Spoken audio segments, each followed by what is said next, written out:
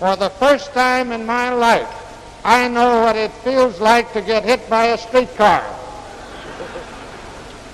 you know, yesterday I received something of a jolt through the balloting of this convention, but I had no idea, I assure you, that there was any such shock as this awaiting me today.